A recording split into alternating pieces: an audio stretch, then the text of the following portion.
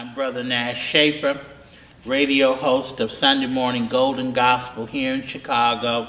I do history of gospel music, curator, study of the art form, what we call the African American sacred song tradition.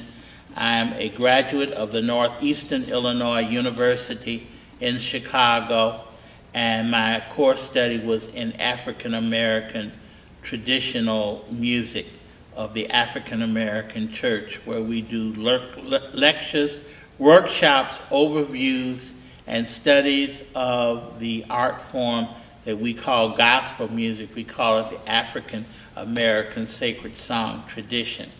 We are currently working on a master's degree at the McCormick Theological Seminary in Chicago. I am halfway through the master's program. Congratulations. And I'm trying to get my master's degree so that I may able be able to teach in the college and universities yes, uh, this religious art form and perhaps share it with portions of the African American church. We are losing our history. Yes, we are losing our culture to a lot of different things coming in. And I think someone has to blow the trumpet and let them know that, okay, before you were, this was. Right. And out of this was created what you have today. Yes, so you must not forget the history from whence you come. Yes, it is uh, in keeping with the Word of God. When Moses was passing off the scene, he told Joshua, Don't forget to tell the story to the next generations how you crossed from Egypt through the wilderness, yes, the plagues. Don't forget that I fed you manna from heaven every day. Yes, sir. Don't forget the story. And then Joshua talks about what meaneth these memorial stones. The stones. The stones are to be remembered right. for the ancestors that gave their blood, their sweat and tears. Don't forget the stones, the memorial, the keeping of the tradition, yes, teaching the generations following what this is all about. The Word of God says, Let Mount Zion rejoice, let the daughters of Judah be glad. Mark bulwarks, the bulwarks. For this God is our God forever and ever, and he will be our God for generations to come. Don't forget to tell the story. Don't forget to tell them about how we made it, the way we came, how we came. Those things are most important. We pass them on to the future generations. Thank you so much, Mr. Shaffer. Were pace setters in their work. When you think of uh, Charles William Watkins, uh, Austin Lane, Delamay Collins, Rose C. Jackson, uh, Roland Booker, the Ellises, David Ellis, Charles Ellis. Uh, all of those individuals made contributions to the music field. Eleanor and Robert Holly. Bishop Holly's son was down at 38th Street uh, Apostolic Church for years. Delamay Collins was over the choir, a woman who was a diva of music, studied music, knew music, and the choir of the Apostolic Faith Church in its heyday was second to none because Delamay was a well-trained singer.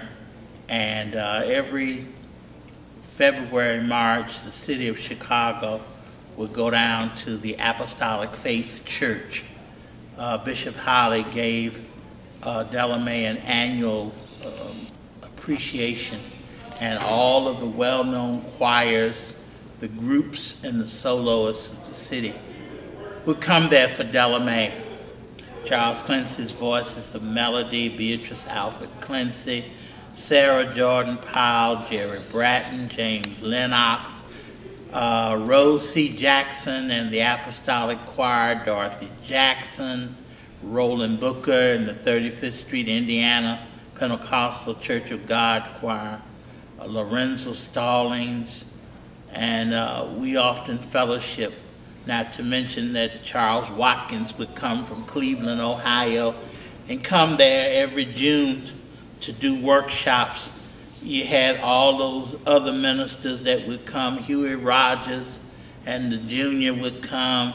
We had uh, Bishop McMurphy, Bishop uh, Mur- um, name slips me from California. McMurray. McMurray would come from California. Monroe Saunders from over in Baltimore, Maryland. Smallwood Williams, Huey Rogers, uh, the who's who Yes, sir. Would come down to 38th Street. At that time, Bishop John Silas Holly was pastor, long before Horace Smith was even thought of. In fact, Horace Smith, who's the national president, uh, was Brother Horace Smith in the Holly and Ivy Choir at the Apostolic Church. They wore some green robes with gold V-shaped collars. He was a young young man singing in the Holly and Ivy Chorale at Della Mae's program. and we would all come from across the city. Eleanor Holly at that time was a music teacher, and she taught music, organ lessons, and piano lessons down at 38th Street along with Juanita Gogans. She played the piano, Della Mae directed the choir, and um, Eleanor was on the organ. And those days that were in the old church, we can't forget because those were good days. They were days when friendships and relationships had been formed and have followed us all the way to our graves because of the friendship and the camaraderie that we had. So the history of all of this is tremendous. Oh, and how do we forget Mr. Piano, Ernest Allen?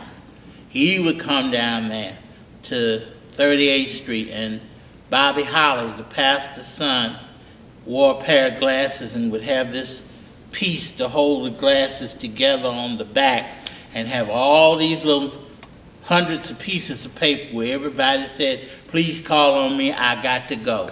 And Bobby would MC the program every March, February for Della Mae's annual day down in 38th Street. Julia May Kennedy would come from the First Church of Deliverance because Della Mae and Julia May were good girlfriends. And those were good days. I mean, you know, even with the new structure and the new buildings and all the new, uh, what I would say, uh, technology and all of the efficiency that we now enjoy, nothing takes the place of the good old days. Yes, sir. And it is our history and our legacy, and we must pass it on to future generations. Thank, don't forget to tell them about how we made it, the way we came, how we came. Those things are most important. We pass them on to the future generations. Thank you so much, Mr. Shaffer. You're welcome.